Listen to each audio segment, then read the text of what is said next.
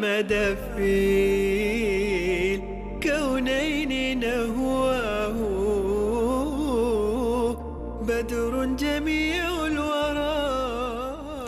عودة إليكم إذا من جديد مشاهدينا الكرام وتحية صباحية من القلب إلى القلب لكل من يتابعنا ولكل من يشاهدنا. ومثل ما أسلفنا في البدء الحديث الأول سيكون بمشيئة الله تعالى عن ذكرى المولد النبوي الشريف ذكرى مولد خير الأنام سيد الأولين والآخرين صاحب المقام المحمود والحوض المورود. فتحية صباحية لكم مشاهدينا الكرام وسنتعرف أيضا على الدروس والعبر التي أيضا نستشعرها حقيقة من هذه الذكرى الإسلامية المباركة. بوجود الأستاذ حمد بن سليمان المعولي محاضر في الثقافة الإسلامية. مرحبا وسهلا أستاذ حمد أهلا وكل عام وأنت بخير. وأنتم بصحة وسلام والأمة الإسلامية جميعا في خير وتقدم بإذن الله. وتحية لكم وهذه الطاقات الرائعة في فريق العمل. أهلا وسهلا بك مرة أخرى أستاذ حمد. يعني ذكرى المولد النبوي الشريف أعتقد جاءت نابعة من محبة المسلمين أيضا للرسول صلى الله عليه وسلم الذي كان خاتما للرسالات أيضا السماوية. هنا نتحدث عن أيضا أهمية هذه المناسبة العطرة المولد النبوي الشريف في التاريخ الإسلامي وأيضا أثرها على نفوس المسلمين. شكرا لك على هذا السؤال في الافتتاح. ويعني فعلا سؤال مهم ويذكر جانبا مهما حتى ذكره المؤرخون وحتى غير المسلمين نعم. من المؤرخين أن هذا النور الذي سطع في مكة أكرمه الله سبحانه وتعالى فجعله يخرج الناس من الظلمات إلى النور وغير مسار التاريخ ومجرى التاريخ. التاريخ كان والعالم كان ما- ماشيا إلى الهاوية ثم جاءت بعثة النبي صلى الله عليه وسلم فكانت نقطة تحول إلى آه، الأحسن. لماذا؟ لأن النبي صلى الله عليه وسلم قال الله عنه لقد من من منا ونعمة ورحمة من الله سبحانه وتعالى على المؤمنين إذ بعث فيهم رسولا منهم يتلو عليهم آياته ويزكيهم ويعلمهم الكتاب والحكمة. وقبل كيف كانوا؟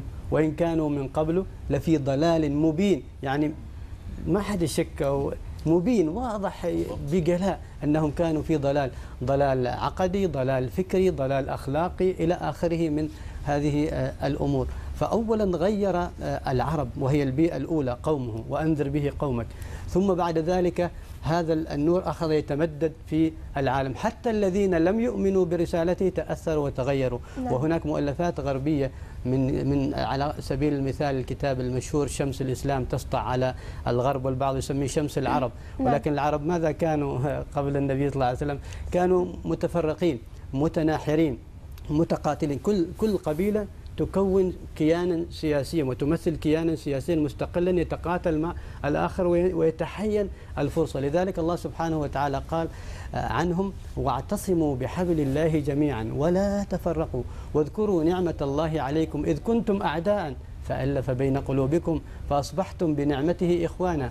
وكنتم على شفا حفرة من النار فأنقذكم منها. كذلك يبين الله لكم آياته لعلكم تهتدون. ونحن نعرف أن التقدم العلمي الذي وصل إليه العالم كانت النقطة الأولى هي بعثة النبي صلى الله عليه وسلم. يا ترى آه، يعني حينما بعث النبي صلى الله عليه وسلم وبعد آه، ميلاده وتلك المراحل من آه، سيرته العطرة إلى البعثة الشريفة كيف كان الناس كيف كانت مكة؟ كانت تموج بمئات الأصنام والأفكار العجيبة والغريبة ووأد البنات وغير ذلك من الأشياء الهمجية. ولكن ماذا فعل بهم النبي صلى الله عليه وسلم؟ وماذا ألقى الله إليه أول ما أول فريضة؟ هل بسبب هذه الأصنام قال له اعبد ربك؟ هل أول فريضة أول آية نزلت قالت له وحد الله؟ واترك الأصنام. لا. قالت له اقرأ عجيب. اقرأ. طيب علم. إذا دين علم. اقرأ باسم ربك الذي خلق.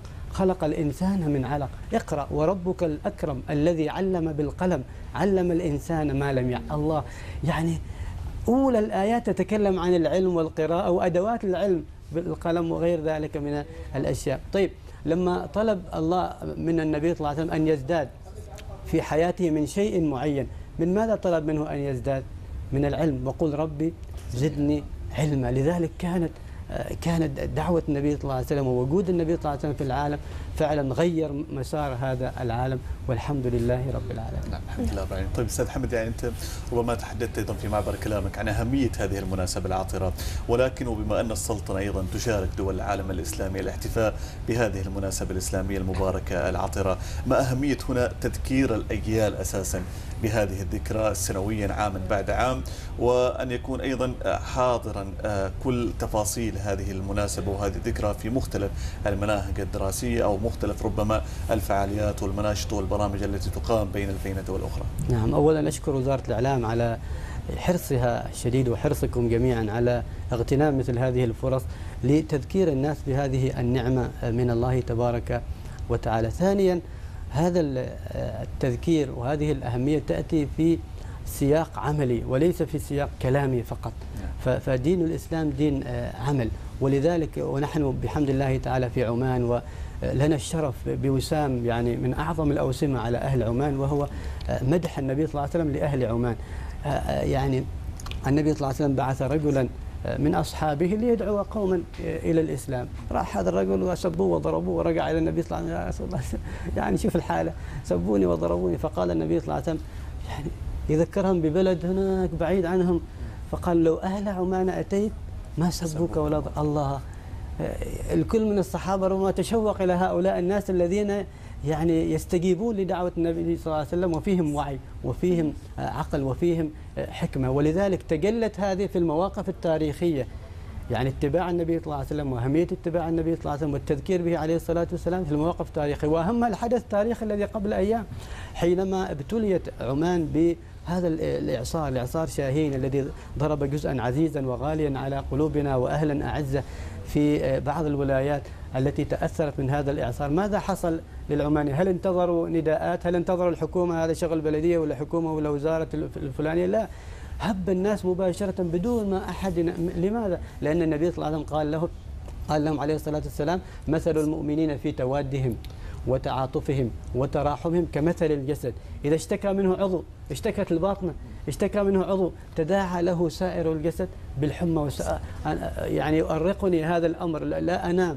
لماذا؟ ولذلك حتى غير المسلمين وجاءت مقاطع يعني منتشرة يعني إنسان ربما غربي آه، تعجب من هذا هؤلاء يا الله يعني يتجهون من ذات أنفسهم تطوعا. لماذا؟ إنهم يحبون الرسول صلى الله عليه وسلم ويتبعون. قل إن كنتم تحبون الله فاتبعوني يحببكم الله. فهذا هو آه، آه، الاحتفال الحقيقة كل لحظة يتمثل هذا في أخلاقنا في سلوكياتنا في تعاملنا في أعمالنا في مهننا. فاتباع النبي صلى الله عليه وسلم ليست شعار وطقوس آه، تعبدية. وإنما اتباع النبي صلى الله عليه وسلم في ال- الكلمة الطيبة في الابتسامة في التفاؤل في بث الخير بين الناس في زرع المحبة بين الناس في صناعة الإنجاز الجميل في الارتقاء بأعمالنا في العلم الذي طلب الله كما قلنا منه أن يزداد منه فهذه رسالة لنا جميعا. نعم. طيب آه، الأستاذ حمد يعني هذه الذكرى فيها مثل ما ذكرنا الكثير من الدروس والعبر. وقبل قليل أيضا سيف سألك سؤال بأهمية تذكير هذ- هذه الفئة من الأجيال بعظمة أيضا آه، هذه آه، الذكرى. يعني هناك يمكن فئة من الأطفال لم يستوعبوا بأهمية هذه آه، آه، الذكرى. ويمكن الآن ما ما عندهم يمكن ال- الاستيعاب الكافي بهدف الإجازة اليوم. أهمية إشراك بالفعل الأهل بهذا اليوم وأيضا استشعار الأطفال بهذه آه، الذكرى. نعم فعلا ال- الجانب التربوي في حياة النبي صلى الله عليه وسلم وجانب الأطفال شيء عجيب جدا. بين. أولئك القوم الذين يعني مرة جاء رجل إلى النبي صلى الله عليه وسلم يعني في مجلسه الشريف ورآه يقبل أحد الأطفال أحد أحفاده صلى الله عليه وسلم. فتعجب يعني العرب هم كانوا أتقبلون أطفالكم؟ أنا عندي عشرة ولا قبلت واحد منهم. قال أو أملك أن نزع الله سبحانه وتعالى الرحمة من قلوبكم؟ يعني ال- الآن ينادى بحقوق الطفل وحقوق الطفل. هذا أعظم منادي لحقوق الطفل. وهو يصلي صلى الله عليه وسلم. يذكر هؤلاء الأطفال. النبي صلى الله عليه وسلم وهو يصلي ما يقول خذوا عني وازحفوا واذهبوا وخلوا هؤلاء الأطفال. أريد, أريد أرتاح أريد أصلي. لا. كان النبي صلى الله عليه وسلم آه، يصلي وكان الأطفال يتعلقون آه، يعني على النبي صلى الله عليه وسلم وهو يصلي. وكان أحيانا يطيل السجود لأن أحد أحفاده على ظهره صلى الله عليه وسلم. إذا الكثير فيما يتعلق بحقوق الإنسان عموما وحقوق الأطفال خصوصا نتعلمه من سيرة النبي عليه الصلاة والسلام. لو يعني وهذا جمع في يعني من اهتم بالسيرة النبوية في الجانب التربوي جانب الأطفال جمعوا ما ما يتعلق ب يعني سيرة النبي صلى الله عليه وسلم ومواقفه الشريفة وسنته عليه الصلاة والسلام بالأطفال. نعم. فوجدوا شيئا عظيما وكبيرا جدا.